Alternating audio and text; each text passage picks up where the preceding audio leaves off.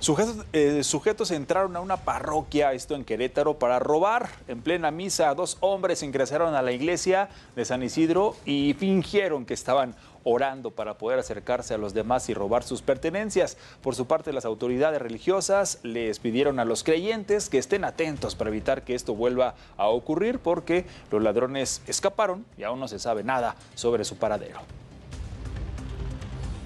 Mientras que en Cuautitlán Izcalli también robaron una panadería. Un par de hombres armados intimidaron a la empleada del lugar para que les diera su celular y el dinero de la caja registradora.